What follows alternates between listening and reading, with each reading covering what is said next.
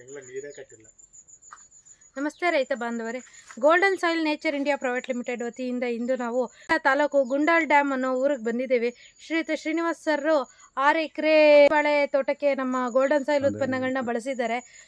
ನಾಲ್ಕು ನಾಲ್ಕು ತಿಂಗಳಿಂದ ಬಳಸ್ತಾ ಇದ್ದಾರೆ. ಆ ನಾಲ್ಕು ತಿಂಗಳಲ್ಲಿ ಏನು ಬದಲಾವಣೆ ಆಗಿದೆ? ಮತ್ತು ಮತ್ತೆ ನಾಲ್ಕು ತಿಂಗಳ ಬೆಳವಣಿಗೆ ಏನಾಗಿದೆ? ವ್ಯತ್ಯಾಸ ಏನಾಗಿದೆ?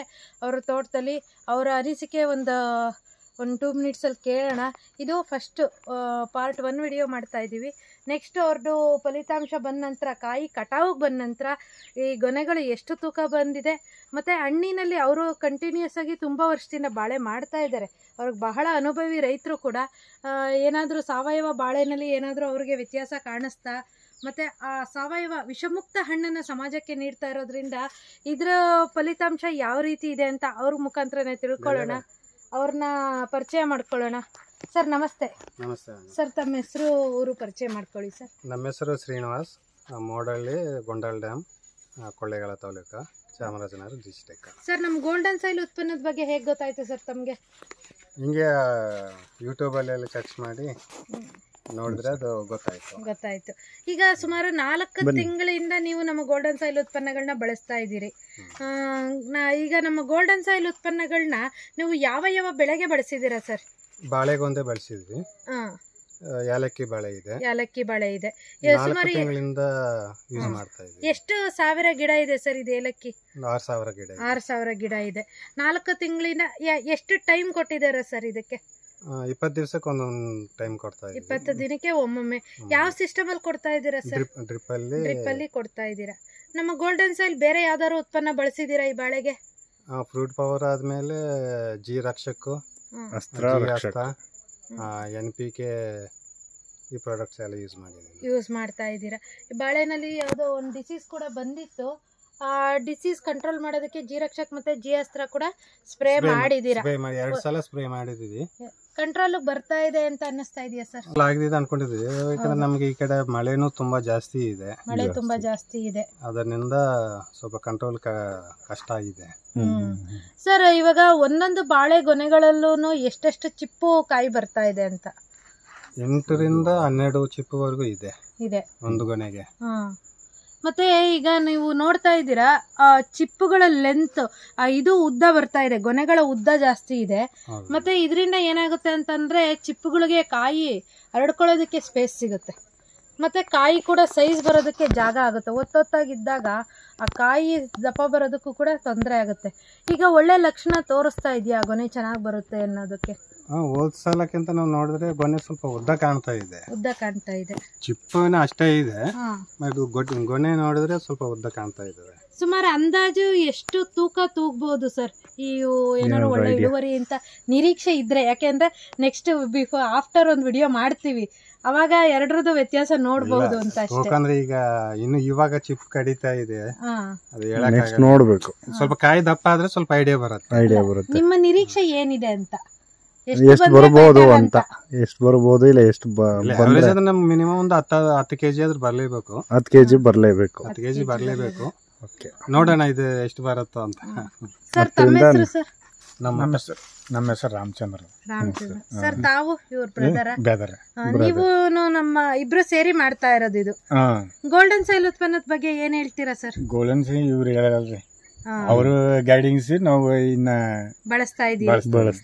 ಈಗ ನಾನ್ ಕೇಳೋದು ಏನು ಅಂದ್ರೆ ರಾಸಾಯನಿಕ ಕೃಷಿಗೂ ಸಾವಯವ ಕೃಷಿಗೂ ಲಾಟ್ ಆಫ್ ಡಿಫ್ರೆನ್ಸ್ ಇದೆ.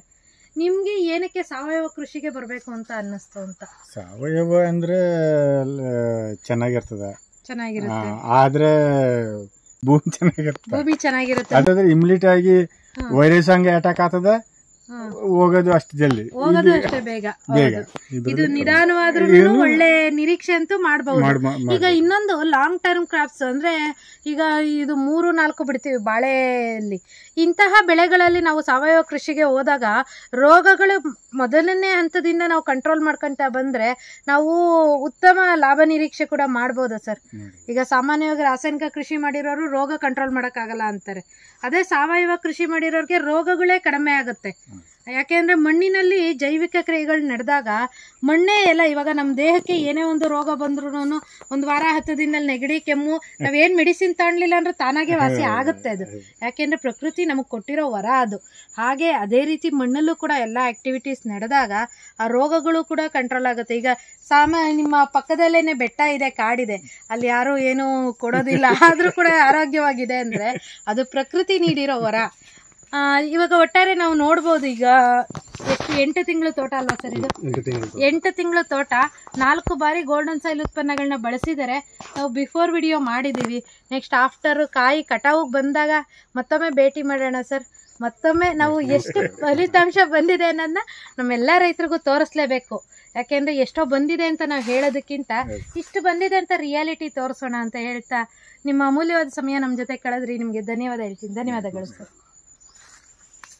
ಕೆಮಿಕಲ್ ಇದು ಇಷ್ಟು ಬರ್ತಿದ್ದಿಲ್ಲ. ಬರ್ತಿರ್ಲಿಲ್ಲ ಇವು ನಾವು ಇದು ಇವು ಮಾಡಾಕತ್ತೀವಲ್ಲ ಹಾ. ಇವು ನೀವು ನೆವುಲು ಹಾವುಗಳು ತಿರುಗಾಡಿ ಜಾಸ್ತಿ. ಫಸ್ಟ್ಲಿಂದ ಹಾವು ಅವು ಕಾಣ್ತಿದ್ದಿಲ್ಲ. ವಾಸನೆಗೆ ಬರ್ತಾ ಆ, ಇದು ಈಗ ಅದು ಕೆಮಿಕಲ್ ಮಾಡಿದ್ದವಾಗ ಇವು ಅವೆಲ್ಲ ಬರ್ತಿದ್ದಿಲ್ಲ. ಇವು ನೆವುಳುಗಳಂದ್ರೆ ಹುಳ ಇರ್ತಾವಲ್ಲ. ಹಾ. ಆ ಹುಳ ನೋಡಿ ಸಾವಯವ ಕೃಷಿ ಮಾಡಿದಾಗ ಮಣ್ಣಿನಲ್ಲಿರೋ ಹುಳ ತಿನ್ನೋದಕ್ಕೆ ನವಿಲು ಬರ್ತೇವೆ. ಸರ್ ಇದು ಕೆಳಗಡೆ ಇರೋದು ಎಷ್ಟು ಎಕರೆ ಸರ್?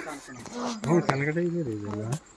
ಅಲ್ಲೊಂದು ಈಗ ಇದೆ ಸೇಮ್ ಪ್ಲಾಟ್ ಒಂದು ಸೇಮ್ ಟೈಮಲ್ಲಿ ಹಾಕಿದ್ವಿ ಸ್ವಲ್ಪ ಅದನ್ನ ನೋಡೋಣ. ನಾನು ಚಿಪ್ಪಿಗೂ ಒಂದು ಚಿಪ್ಪಿಗೂ ತುಂಬಾ ಗ್ಯಾಪ್ ನೋಡಿ ಎಷ್ಟು ಎಷ್ಟು ಗ್ಯಾಪ್ ಇದೆ. ಇದ್ರೆ ಕಾಯಿ ಡೆವಲಪ್ ಆಗ್ತವೆ.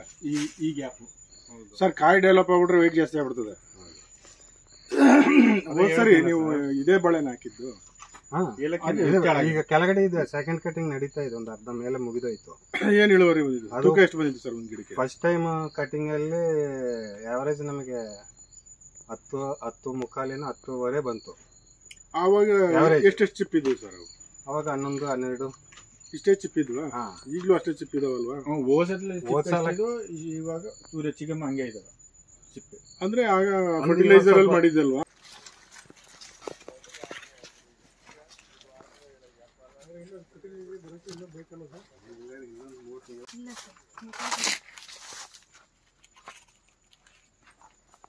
ಹೆಲ್ತಿಯಾಗಿದೆ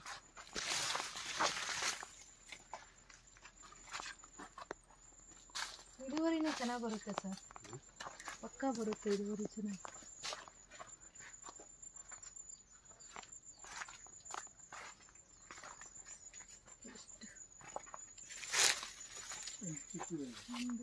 ಹಾ, ಎಂಟರಿಂದ ಹನ್ನೆರಡು ಸುತ್ತ ಇದೆ.